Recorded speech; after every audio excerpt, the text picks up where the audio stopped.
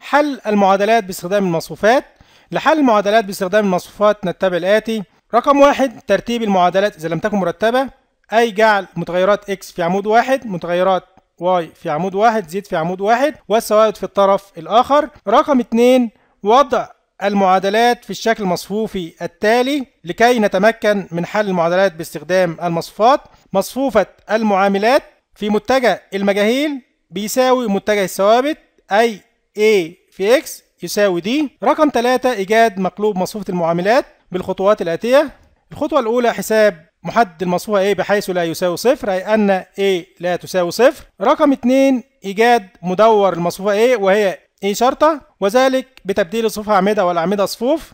رقم 3 إيجاد مصفوفة المرافقات AM بإيجاد مرافق كل عنصر من عناصر المصفوفة المدورة A شرطة مع الأخذ في الاعتبار الإشارات. حيث قاعدة الإشارات هي كما ذكرناها سابقا موجب سالب سالب موجب إذا كانت مصفوفة 2 في 2 مصفوفة 3 في 3 موجب سالب موجب سالب موجب سالب موجب سالب موجب أي الإشارة تبادلية بدءا بالموجب. ثم نقوم بتطبيق المعادلة لإيجاد مقلوب المصفوفة حيث مقلوب المصفوفة A يساوي واحد على قيمة المحدد في مصفوفة المرافقات. رقم أربعة إيجاد المجاهيل X Y Z. إذا كان لدينا ثلاثة مجاهيل إذا كان لدينا مجهولان و Y بتطبيق المعادلة متجه المجاهيل بيساوي مقلوب مصفوفة المعاملات في متجه الثوابت أو X ستار تساوي A أس سالب واحد في D. مثال حل المعادلات الآتية باستخدام المصفوفات. لدينا معادلتين في مجهولين. المعادلة الأولى x زائد y يساوي 5 المعادلة الثانية 4x زائد 6y يساوي 8 لحل المعادلات باستخدام المصفات. نتبع الآتي. رقم واحد بالنظر للمعادلات نجد أن المعادلات مرتبة أي لا تحتاج إلى ترتيب. X تحت x y تحت y والثوابت في الطرف الآخر. رقم اتنين وضع المعادلات في الشكل المصفوفي حيث مصفوفة المعاملات هي معاملات x واحد وأربعة معاملات y واحد وستة. متجه المجاهيل لدينا مجهولان x و y. متجه الثوابت خمسة وثمانية رقم ثلاثة إيجاد مقلوب مصفوفة المعاملات بالخطوات المعروفة. حساب قيمة محدد مصفوفة المعاملات هو المحدد. واحد في ستة ناقص واحد في أربعة واحد في ستة بستة ناقص أربعة. محدد المصفوفة يساوي اتنين أي لا يساوي صفر. إيجاد مدور المصفوفة A بتبديل الصفوف أعمدة أو العكس. أي جعل هذا الصف عمود وجعل هذا الصف أيضا عمود. يبقى إيه شرطة تساوي واحد واحد أربعة ستة. رقم ثلاثة إيجاد مصفوفة المرافقات لمصفوفة المعاملات بإيجاد مرافق كل عنصر من عناصر المصفوفة المدورة مع الأخذ في الاعتبار الإشارات كما تم توضيحها سابقا في إيجاد مقلوب المصفوفة. فنحصل على AM تساوي موجب 6 سالب 1 سالب 4 موجب 1 ثم نقوم بتطبيق المعادلة. مقلوب المصفوفة يساوي 1 على قيمة المحدد في مصفوفة المرافقات أي 1 على 2 في مصفوفة المرافقات اللي هي AM الخطوة الرابعة إيجاد المجاهيل X و Y حيث متجه المجاهيل بيساوي مقلوب مصفوفة المعاملات في متجه الثوابت.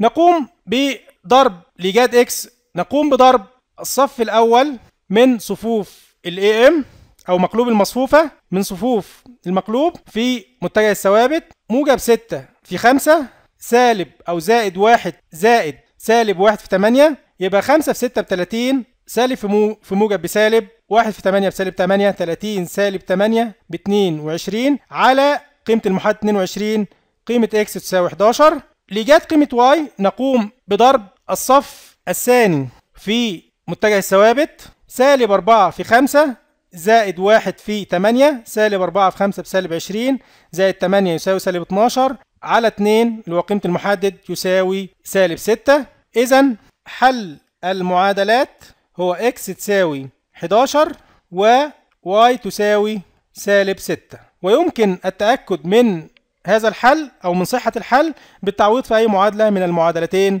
السابقتين بقيمتي x و y.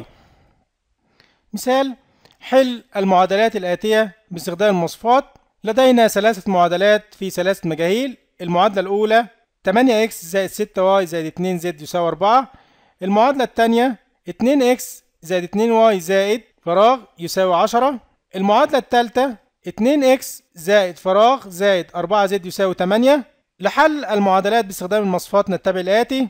أولا ننظر إلى المعادلات هل هي مرتبة أم لا؟ نجد أن المعادلات مرتبة. x في عمود واحد y في عمود واحد z في عمود واحد والثوابت في الطرف الآخر لا تحتاج إلى ترتيب. رقم اتنين وضع المعادلات في الشكل المصفوفي حيث مصفوفة المعاملات مضروبة في متجه المجاهيل x y z يساوي متجه الثوابت. رقم 3 إيجاد مقلوب مصفوفة المعاملات بالخطوات المعروفة.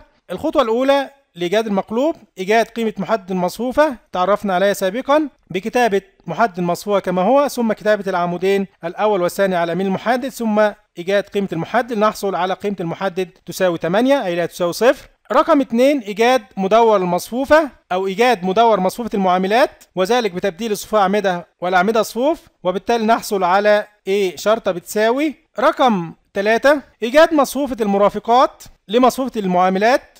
بإيجاد مرافق كل عنصر من عناصر المصفوفة المدورة مع الأخذ في الاعتبار الإشارات. المصفوفة التي لدينا مصفوفة 3 في 3 لإيجاد مرافق أي عنصر نقوم بشطب الصف الذي يقع فيه العنصر والعمود لنحصل على محايدد نحصل على تسع محدات محايددات هكذا مع الأخذ في اعتبار الإشارات. ثم نقوم بالتصفية والفك لهذه المحدات لنحصل على مصفوفة المرافقات بهذه الطريقة. رقم أربعة تطبيق المعادلة للحصول على مقلوب المصفوفة. مقلوب مصفوفة المعاملات يساوي واحد على قيمة المحدد في مصفوفة المرافقات أي قيمة المحدد 8 واحد على 8 في مصفوفة المرافقات التي حصلنا عليها في الخطوة السابقة. أربعة إيجاد المجاهيل وهم x و y و z تطبيق المعادلة متجه المجاهيل بيساوي مقلوب مصفوفة المعاملات في متجه الثوابت.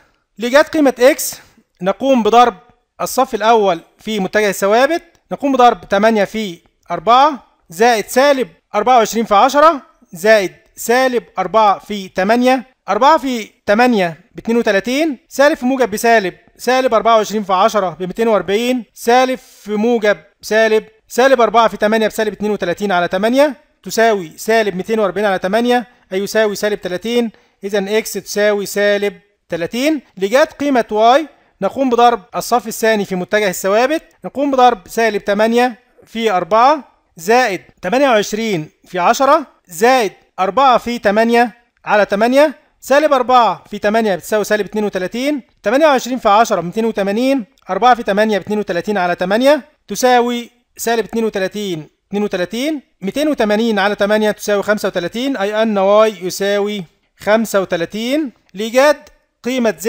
نقوم بضرب الصف الثالث في متجه الثوابت. نقوم بضرب سالب 4 في 4 زائد 12 في 10 زائد 4 في 8 على 8 سالب 4 في 4 بسالب 16 12 في 10 ب 120 4 في 8 ب 32 الكل على 8 يساوي 36 على 8 يساوي 17 أي أن y يساوي 17 أي أن حل المعادلات هو x تساوي سالب 30 y يساوي 35 z تساوي 17 وللتأكد من صحة الحل يتم التعويض بقيم x و y و في أي معادلة من المعادلات الثلاثة السابقة.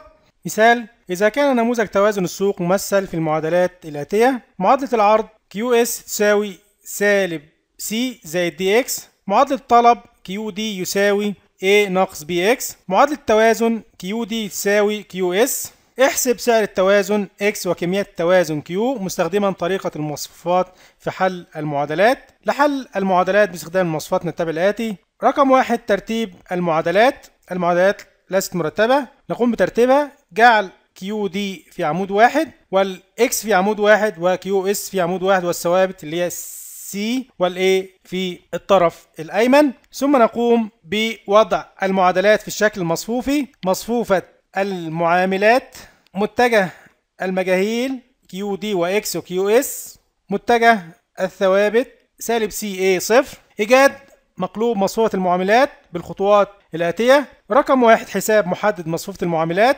نقوم بإيجاد قيمة المحدد بوضع محدد المصفوفة كما هو ثم نقوم بكتابة العمودين الأول والثاني على يمين المحدد ثم إيجاد قيمة المحدد بالطريقة المعروفة سابقا.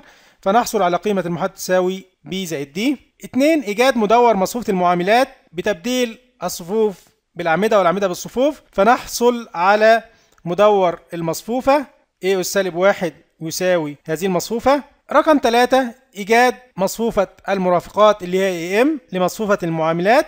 بإيجاد مرافق كل عنصر من عناصر المصفوفة المدورة مع الأخذ في الاعتبار الإشارات. وتم التعرف على هذه الخطوة سابقا. في إيجاد مقلوب المصفوفة نقوم بكتابة الإشارات بدءا بالموجب والإشارات التبادلية ثم نقوم بشط الصف والعمود الذي يقع فيهم العنصر الذي نريد إيجاد مرافقه. لنحصل على المحايدات بالشكل التالي. نقوم بتصفيتها وحسابها. لنحصل على مصفوفة المرافقات اللي هي AM في هذا الشكل. رقم أربعة نقوم بتطبيق المعادلة. مقلوب مصفوفة المعاملات بيساوي واحد على قيمة المحدد في مصفوفة المرافقات. قيمة المحدد سالب B زائد D واحد على سالب B زائد D مضروبة في مصفوفة المرافقات. أربعة إيجاد المجاهيل وهم QS وX وكيو دي كما يلي تطبيق المعادلة متجه المجاهيل بيساوي مقلوب مصفوفة المعاملات مضروبة في متجه الثوابت.